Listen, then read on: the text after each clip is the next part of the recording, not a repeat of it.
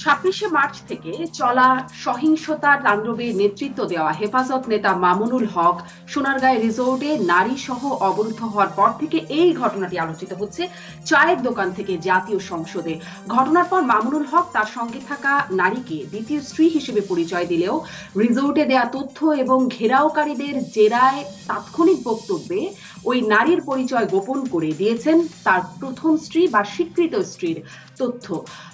এদিকে এমনটা সত্ত্বেও বা ফাঁস হওয়া বিভিন্ন অডিও, ভিডিও থাকা সত্ত্বেও যেখানে প্রমাণিত হচ্ছে বা প্রতীয়মান হচ্ছে যে সেই নারী প্রকৃতপক্ষে তার স্ত্রী নন, তা সত্ত্বেও হেফাজত সংগঠন হিসেবে পূর্ণাঙ্গ সমর্থন দিচ্ছে মামুনুল হককে, বরং তার সমালোচনা করায়, মামুনুল হকের সমালোচনা করায় প্রধানমন্ত্রীকে তাওবা করার আহ্বান জানানো হচ্ছে।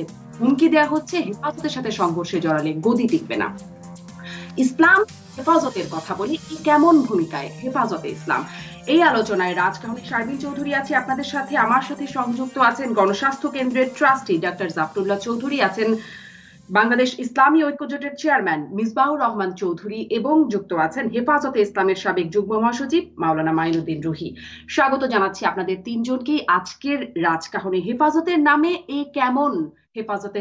ইসলামের নামে কেমন হেফাজতে? ইসলাম এমন একটি শিরোনাম আমাদের আজকের অনুষ্ঠানের। আমি মাওলানা মাইনুদ্দিন রুহি আপনার কাছ থেকে শুরু করতে চাই যে, এবং প্রকৃতপক্ষে সেই মামুনুল হকের রিজোর্ট ঘটনাটি তার ব্যক্তিগত হিসেবে থাকতে পারলেই হয়তো বেশি সমীচীন হতো। কিন্তু দেশ জুড়ে এমন সহিংসতা তাণ্ডবের পর এমন এমন একটি ঘটনা, সেই ঘটনাটিতে তার অবরুদ্ধ হওয়ার পরে হেফাজতে ইসলাম যেভাবে সমর্থন দিচ্ছে, নানান রকম প্রমাণ উঠে আসার পরেও এবং হেফাজত ইসলাম বলছে, সংগঠনটির নেতারা বলছেন মামুনুল হকি হেফাজত।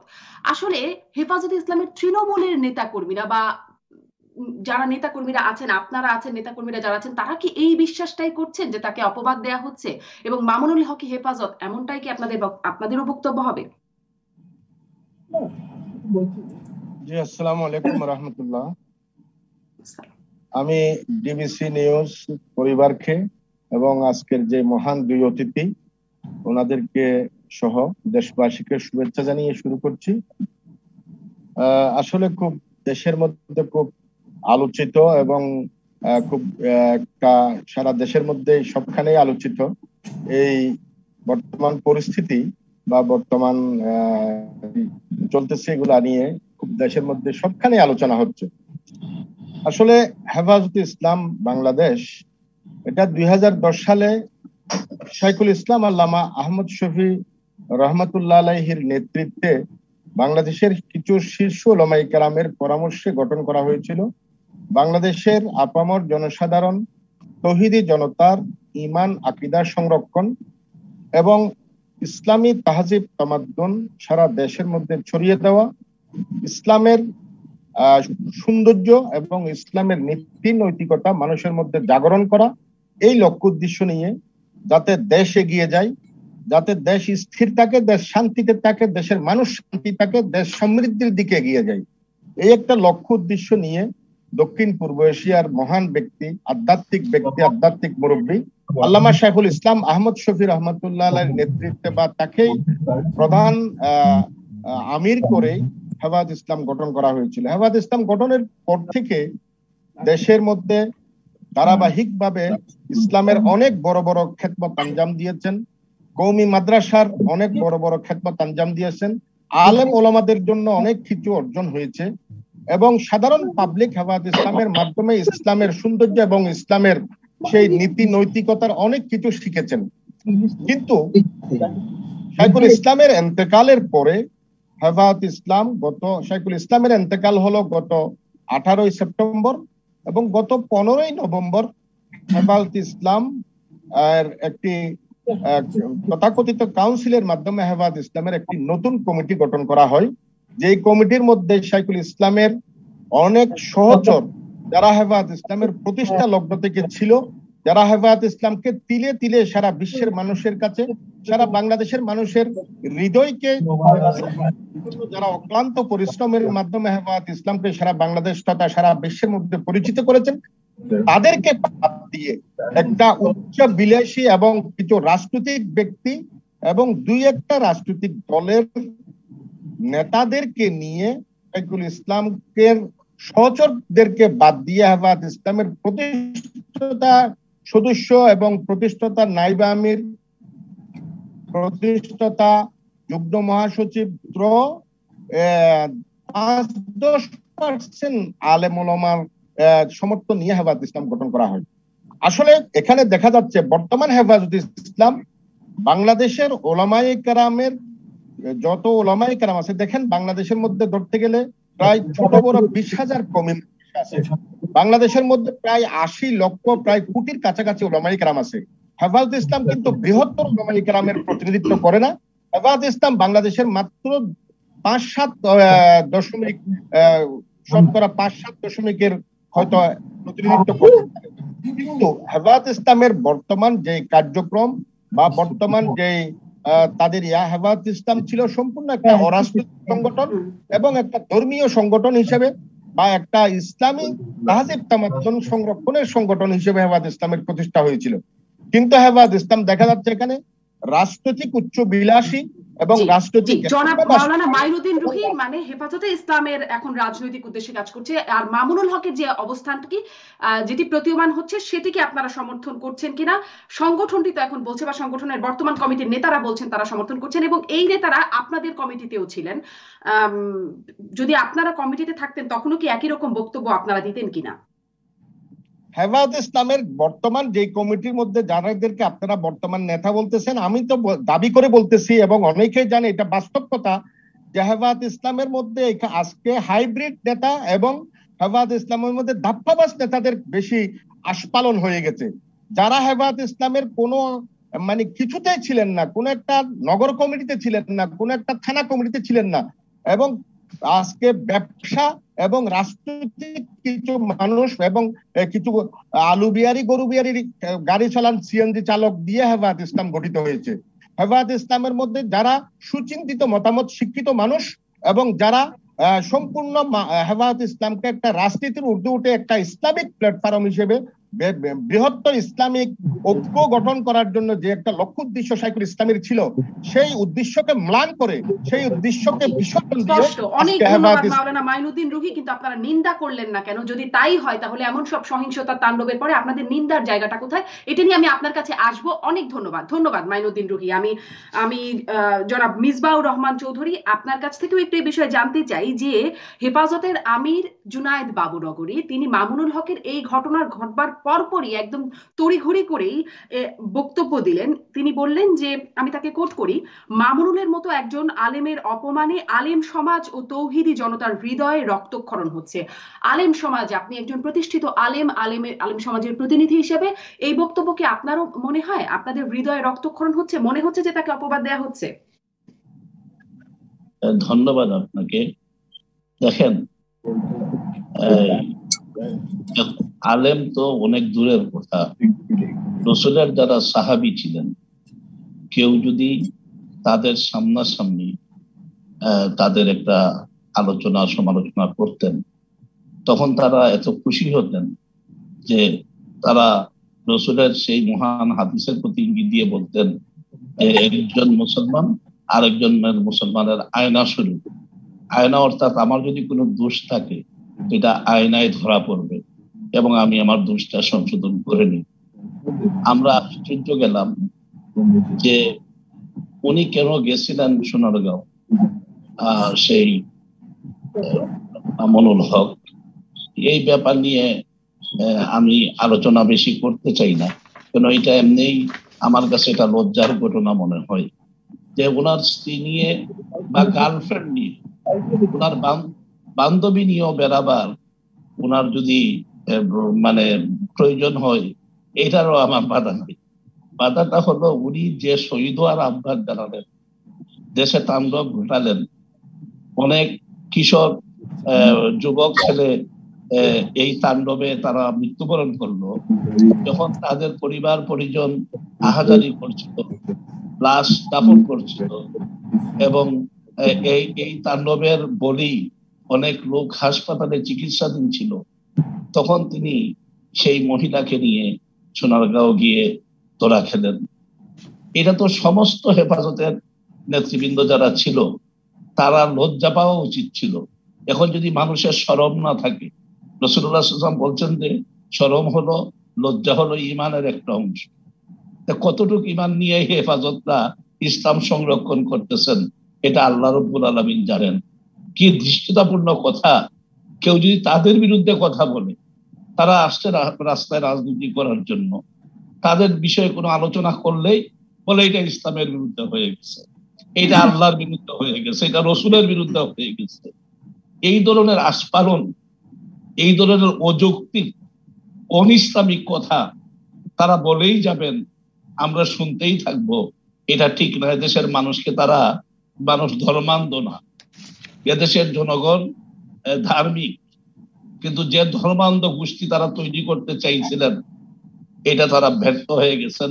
কেননা তারা তো এমন লোক আপনি এখন যদি ইতিহাস তার নিজস্ব গতিতে ঘুরে এই মামুনুলকের আব্বা উনার উস্তাদ হাফিজুজুরকে যেভাবে নাস্তে নাবুদ করছিলেন তিনিও হেফাজতের সাথে মিশে একইভাবে অপমান অপদস্থ করছেন। সোনারগাঁওয়ের ঘটনাটা নিয়ে আপনি জানেন ওই মহিলার সন্তানের কথা শোনার পর থেকে এই ব্যাপারে আমি কিছু শুনতেই আমার লজ্জা করি। আমি এই ব্যাপারে শুনতেই আগ্রহী নয়। বাবুনগরী একজন বৃদ্ধ আলেম এবং ওনার বেশ আলেম হিসাবে অনেক ছাত্র আছে। উনি কি করে সমর্থন করলেন ঘটনাটা? তাহলে আমি কি বলতে পারি যে এরা ইরানের নিউজ লেটার বিক্রি করে করে ইরানের একটা সম্প্রদায় আছে, ওরা মুতাবিয়াকে বৈধ বলে। মুতাবিয়া মানে হলো যে একজন মহিলাকে দুই রাত্রের জন্য কন্ট্যাক্ট করা যায় এবং এইটা কিছু টাকা দিয়ে দিলে ওনার মোহরানা আদায় হয়ে যায়। এইটাকে মোতাবিয়া বলে। এই মামুনুল হক এরা ইরানের নিউজ লেটার এই সমস্ত পত্রিকা বাড়ি বাড়ি নিয়ে বিলি করছে, বিক্রি করছে। তারা যদি এখন ওই মতবাদে বিশ্বাস করে তাহলে হ্যাঁ এটা তাদের জন্য বৈধ বিয়া হয়ে যেতে পারে। কিন্তু আমরা যারা মূলধারার ইসলামে বিশ্বাস করি, ওই বিয়াতে সাক্ষী লাগে, মহারানা লাগে, আত্মীয় স্বজনকে বলা লাগে না হইলে এটা বিয়াকে অবৈধ মনে করা হয় না। আমি আরও কয়েকটা টেলিভিশন ইন্টারভিউতে আমি এই ব্যাপারে কথাই বলতে চাই নাই। কিন্তু এদের উদ্ধত্ত আচরণ এবং এত বড় অন্যায় করার পরে একদম সমস্যার এইটা অন্যায় নয় বলে তারা বলছে। ওদেরকে আমি আপনার টেলিভিশনের মাধ্যমে চ্যালেঞ্জ করলাম। তারা কেউ যদি এসে আমার সাথে বিতর্কে আসে, তাহলে আমি প্রমাণ করে দিব, তারা অনিসলামিক কাজ করছেন অমানবিক কাজ করছেন। রাষ্ট্রবিরোধী কাজ করছেন, ইনসাফ বিরোধী কাজ করছেন, এবং এটা যদি তারা চ্যালেঞ্জ রাখেন, তাহলে আমি আপনার মাধ্যমে এই চ্যালেঞ্জটুকু তাকে ছুড়ে দিলাম। তারা আসতে পারেন, তারা কথা বলতে পারেন। অনেক ধন্যবাদ জনাব মিসবাহ রহমান চৌধুরী। আপনি আপনি ওপেন চ্যালেঞ্জ ছুড়ে দিয়েছেন। আমি ডাক্তার জাফরুল্লাহ চৌধুরী, আপনি আপনি কি বলবেন যে তাদের সাথে সংঘর্ষে জড়ালে যেই বিষয়টি উল্লেখ করছিলেন জনাব মিসবাহ রহমান চৌধুরী, যে তাদের সাথে সংঘর্ষে জড়ালেই তারা ইসলাম বিরোধী। এখন তো এটিও বলছেন যে গদি টিকবে না। গদি মানে কে থাকবেন কে থাকবেন না, এটি কি হেফাজতে ইসলাম নির্ধারণ করার ক্ষমতা রাখে এবং কে তৌহিদি জনতা, কে নাস্তিক, কে মোরতাদ, এটি চিহ্নিত করার কোনটা ইসলামিক, কোনটা অন ইসলামিক এটি চিহ্নিত করার ক্ষমতা কি? হেফাজতে ইসলাম সংরক্ষণ করে এবং এই দাবিতে কি তারা রাস্তায় নেমে আন্দোলন প্রতিবাদ করতে পারে? ডাক্তার জাফরুল্লাহ চৌধুরী।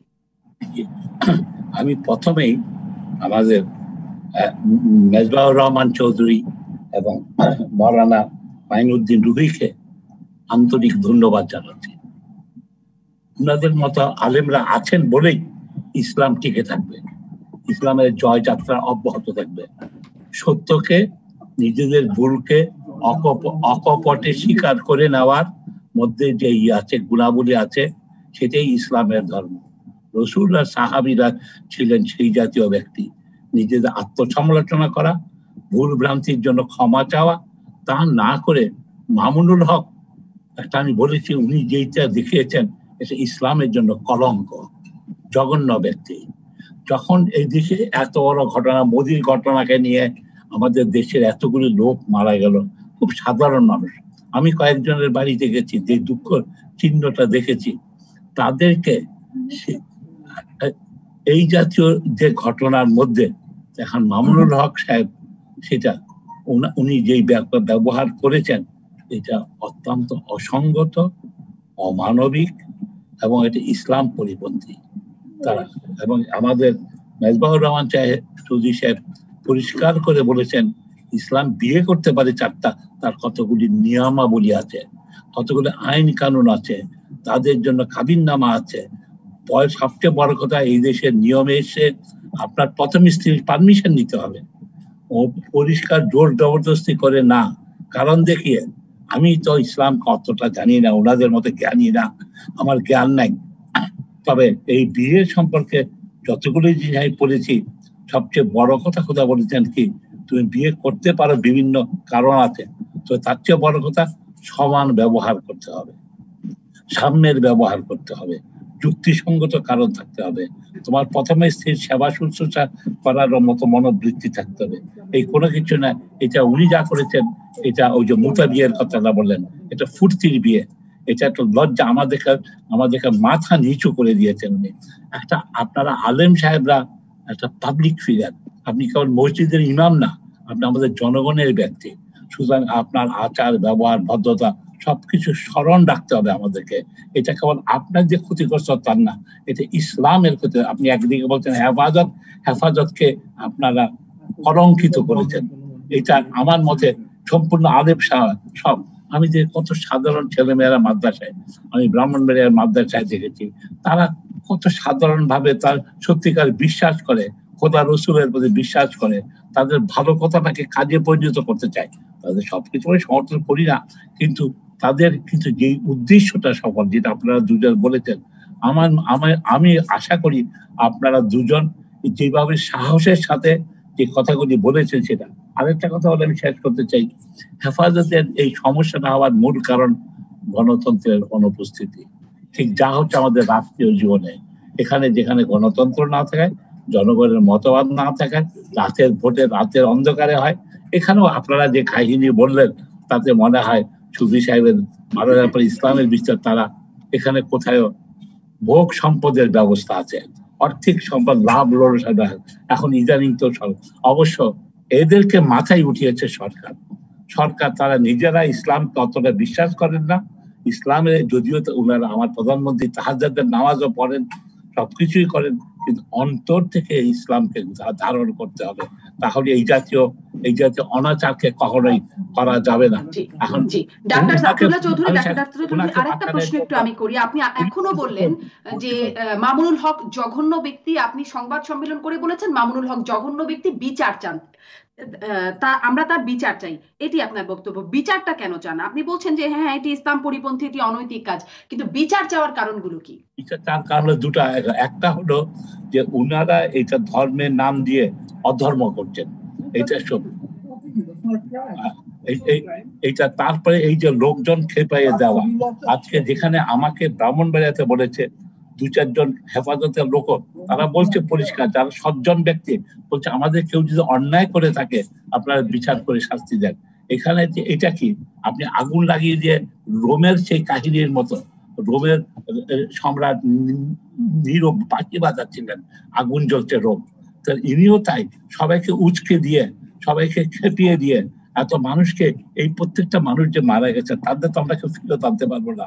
তার পরিবারের এখনও দুশো আড়াইশের মতো লোক আহত আছে তারা পালিয়ে বেড়াচ্ছে। এইসবের জন্য এইসব উস্কানি দাতা তো উনি। উনি তারপরে যে কথাগুলি বলেছেন এটা অত্যন্ত অভদ্রজনক যেমন কে বলেছেন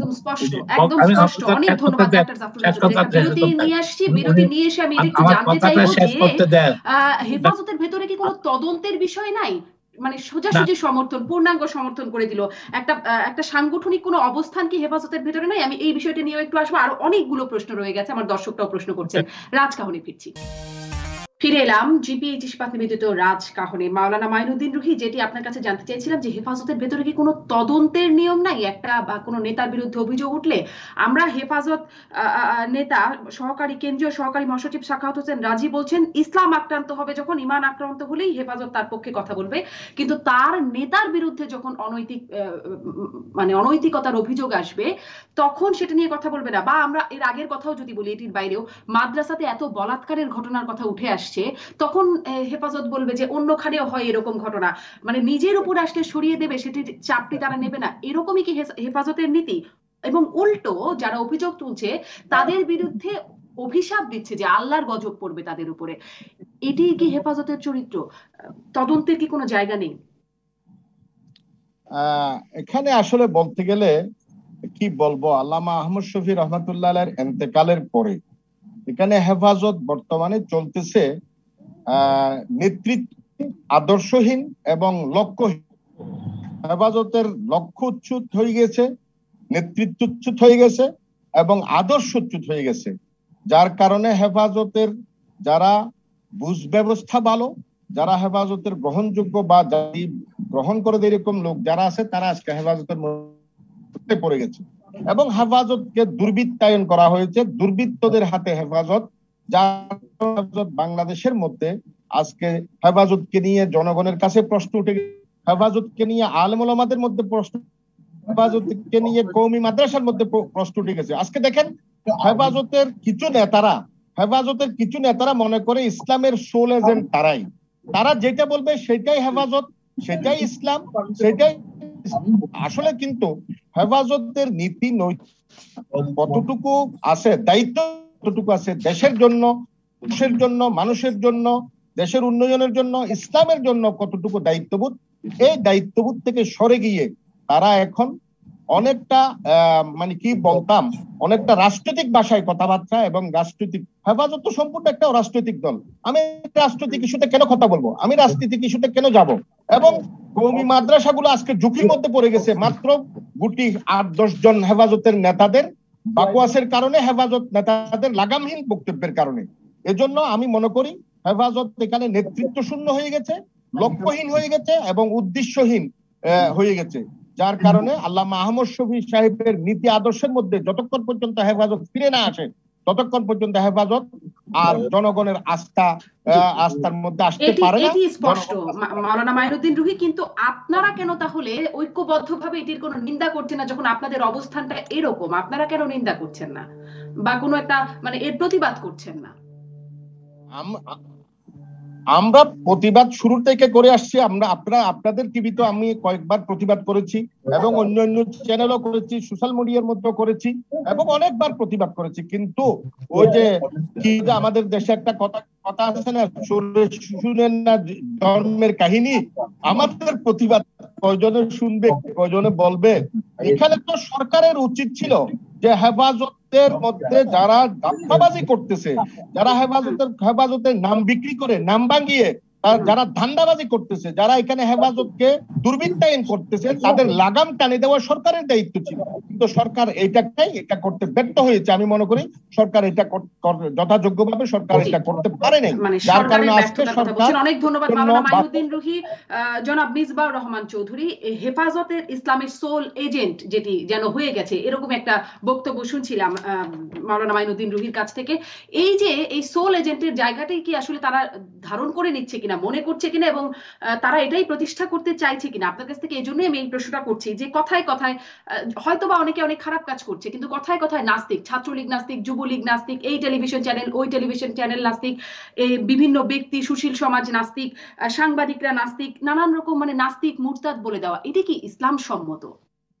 জনাব দেখুন আমাদের বাংলাদেশে আমরা যারা মুসলমান আছি আমরা সবাই কোরআন শরীফ তেলাওত করি। কিন্তু মহান এই কোরআন আল্লাহর বাণী, এইটা আমাদেরকে কি বলা হলো? আমরা এইটার তর্জমা। আমরা জানি না, আমরা পড়ি না। প্রায় বেশিরভাগ মানুষই আমরা পড়ি না। যার জন্য কিছু মানে মানুষ এই তথাকথিত মাদ্রাসায় পড়ে তারা ইসলামের সোল এজেন্ট সে যে যা খুশি তা তারা বলতে পারতেছে, তারা করতে পারতেছে। আমরা যদি কোরআন শরীফ তেলাওয়াত করি, আমরা যদি কোরআন শরীফের অর্থগুলা বুঝি, তাহলে দেখবেন যে আল্লাহ রব্বুল আলমিন এই ইহুদি এবং খ্রিস্টান সম্প্রদায়ের আলেমদের কোথায় কোথায় পাতায় পাতায় বর্চনা করছেন যে তারা ধর্মকে বিকৃতি করছে, তারা ধর্ম নিয়ে বাড়াবাড়ি করছে।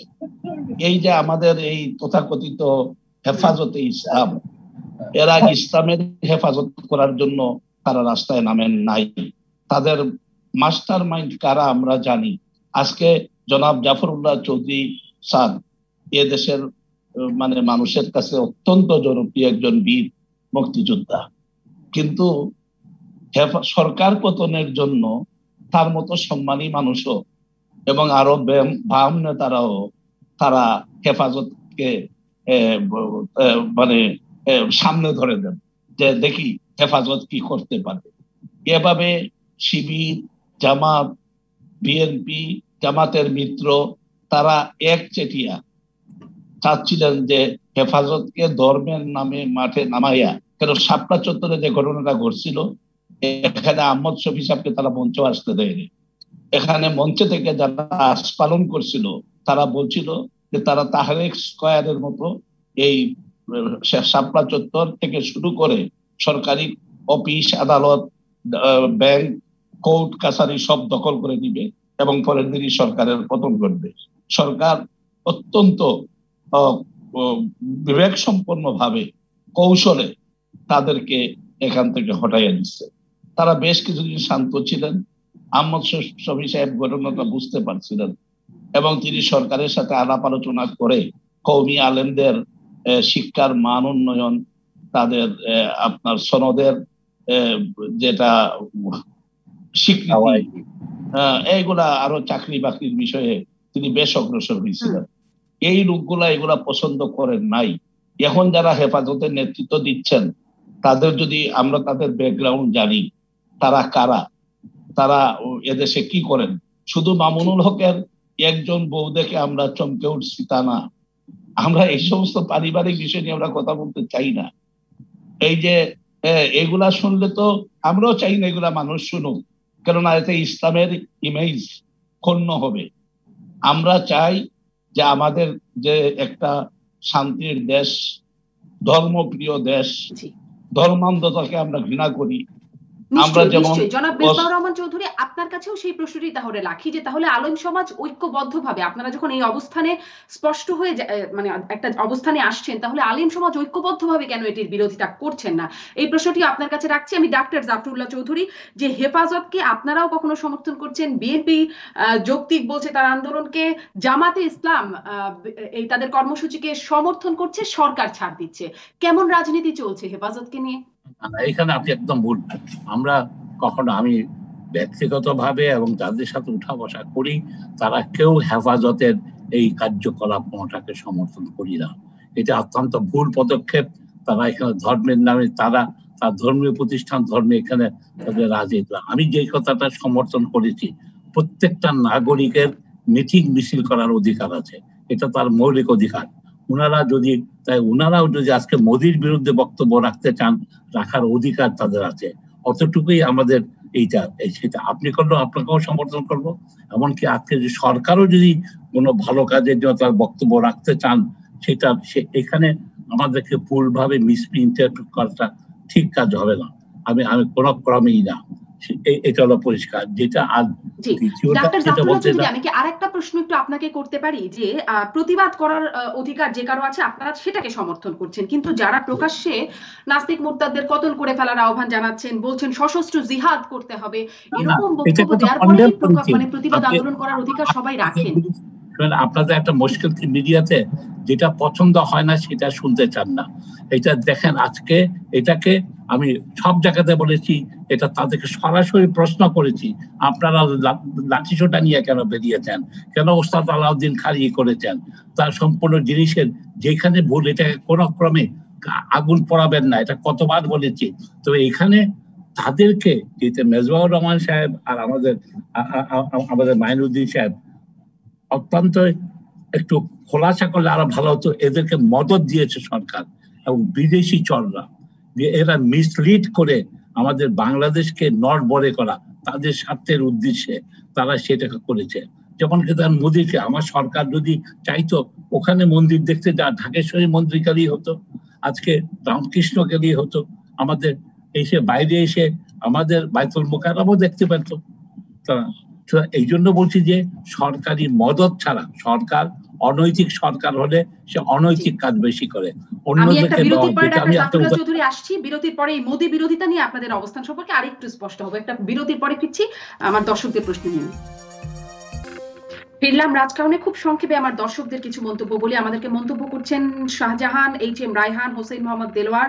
গিয়াসুদ্দিন আহমেদ বলছেন, যারা প্রকাশ্যে ইসলাম মানে না, তাদের কাছে ইসলামের বাণী শুনতে হবে। তাদের কাছ থেকে আলেমদের সার্টিফিকেট নিতে হবে। রাজন হাসান বলছেন, মামুনুল হক সাহেব সবসময় মানুষকে উত্তেজিত করেন এবং নিজে উত্তেজিত থাকেন, তাই উত্তেজনা থামানোর জন্য দরকার লাশ আর নারী। রিপন হোসেন বলছেন, মামুনুল হককে আল্লাহ সঠিক বিচার করেছেন। টিআইএম জাদিদ বলছেন, আমাদের নবী ইসলামের জন্য স্যাক্রিফাইস করেছেন, কিন্তু রিসোর্ট বা রেস্ট হাউসে যাননি। এরকম আরও অনেকেই মন্তব্য করছেন ডাক্তার জাফরুল্লাহ চৌধুরী। আপনার কাছে যে প্রশ্নটি করে গিয়েছিলাম, সেটিতে যদি একটু খুব সংক্ষেপে বলেন, মোদী বিরোধিতা। আমরা মোদী আগের বারেও এসেছেন দু হাজার পনেরোতে, তখনও এমন শক্ত অবস্থানে আপনাদেরকে দেখিনি। শ্রীলঙ্কায়ও তামিলদের উপর নির্যাতন হচ্ছে, মুসলিমরা সেখানে আতঙ্কে থাকছেন ইস্টার সানডের ঘটনার পর। তারপরে শ্রীলঙ্কার প্রতিনিধি আসলেন আসলেন। আমাদের দেশে মিয়ানমারের মন্ত্রীরা এসছেন মানে তারা তো আসছেন। তখন তো কিছু হচ্ছে না। সেখানেও তো রোহিঙ্গা নির্যাতন হচ্ছে। মানে আপনারা তো তখন প্রতিবাদ করেন না। না ব্যাপারটা হচ্ছে কি, আজকে যেটা শ্রীলঙ্কা, শ্রীলঙ্কার কার্যকলাপের দ্বারা শ্রীলঙ্কার বসবাসকারীরা, মুসলমানরাও এফেক্টেড কিন্তু তারা বাংলাদেশের মুসলমানকে মারে না, বাংলাদেশের নাগরিককে হত্যা করে না, তার পানি আটকায় না। কিন্তু ভারতের ব্যাপারে, নরেন্দ্র মোদীর ব্যাপারে, উনি বাংলা, এখনও মুসলমানদের তো ওখানকার করেছেন, ধর্ম পালন করতে দেন না গরু মাংস খেতে দেয় ইত্যাদি। যদিও উনার পূর্বপুরুষরা গরুর মাংস খেতেন। এখানে তারা পানি, আমাদের জীবনযাত্রার জন্য পানি কবি, সেটা উনার সুরাহা করেন না। আমার সরকারকে বোকা পেয়ে তার সমঝোতা স্মারক করেন। সেখানে আমি কি পেলাম? আমাকে খুব সুন্দর অনেকগুলি প্লেট দিলেন। যদি খাবার না থাকে, লাভটা কি? সেই কারণে, আর তারপরে হলো কি, আমার শেখ মুজিবকে অপমান করেছে মোদী। যেমন কি ধরেন, আজকে গান্ধী শান্তি পুরস্কার হলো জীবিত ব্যক্তির বিগত দশ বছরের কার্যকলাপের জন্য দেওয়া হয়। তা না করে বলে বঙ্গবন্ধু মারা গেছে আজকে কত চল্লিশ বছর, ছচল্লিশ বছর আগে। তার সাথে কাকে দিয়েছেন? ওমানের বাদশাকে। এটাকে একটা ছোট করার একটা সীমা থাকে। এই পুরস্কারই তো আমার ইউনুস ভাই পেয়েছেন দু হাজার সালের শুরুতে। এই জন্য আমরা মনে করি যে উনি অত্যন্ত অভদ্র কাজ করেছেন। উনি সম্প্রদায়কে উস্কে দিয়েছেন। ওখানে যে আজকে তাদের রাজনীতিকে আমার দেশে এনে আজকে মমতার সাথে আমাদের সম্পর্কটাকে আরও কঠিন করার চেষ্টা করছে। যেখানে আমাদেরকে পশ্চিমবঙ্গের আমাদের দরকার। আজকে পশ্চিমবঙ্গ থেকে সব মুসলমান যদি খেদাতে শুরু করে, আমরা যাবোটা কোথায়? আসাম থেকে।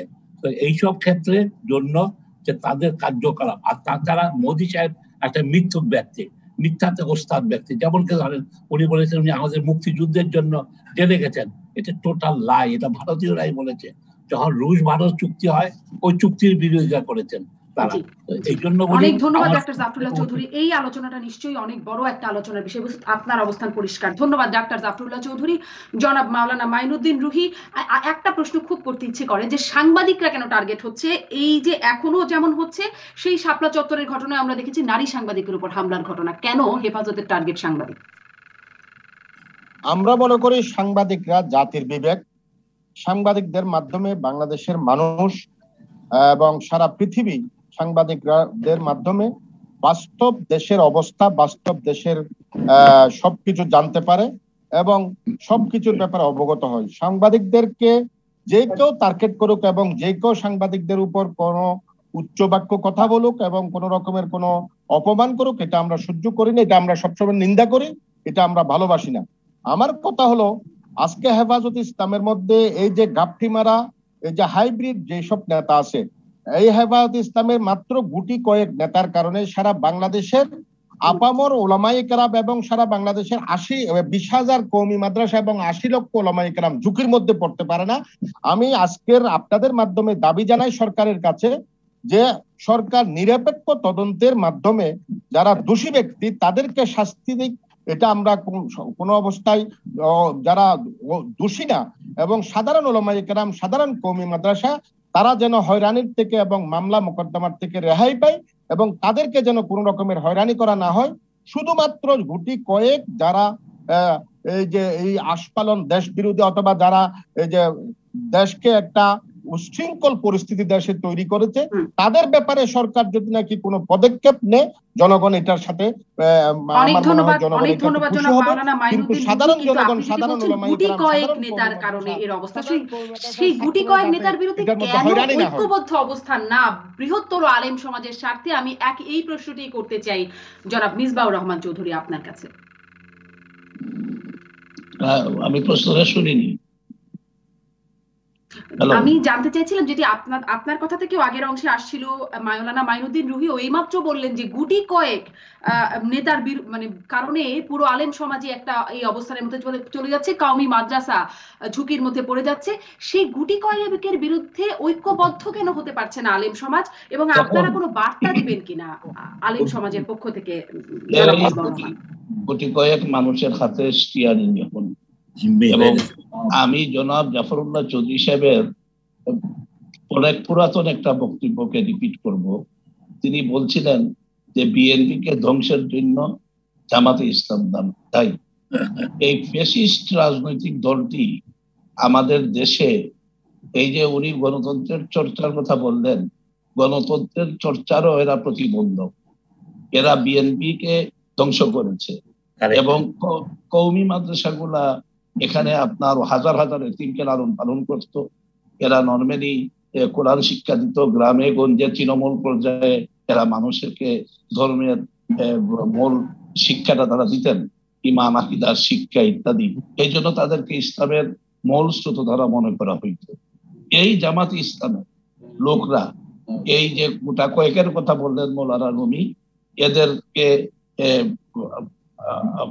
অর্গানাইজ করে বা এদের সাথে পরামর্শ করে অনেক অর্থ কর্তের বিনিময়ে এই কৌমি অঙ্গনটাকে একটা নৈরাজ্যকর মধ্যে ফেলার জন্য তাদের। পরিকল্পনায় কাজগুলো হয়েছে এই যে ঘটনাগুলো ঘটলো শুধু ছাব্বিশ তারিখ থেকে নয় নরেন্দ্র মোদী থেকে এটা সূত্রপাত নয় এটা পাঁচ ছয় মাস ব্যাপী হেলিকপ্টার সোয়ার হয়ে গ্রামে যে সমস্ত ভাষায় মানুষকে উত্তেজিত করেছে মানুষকে ধর্মান্ধ বানাবার চেষ্টা করেছে।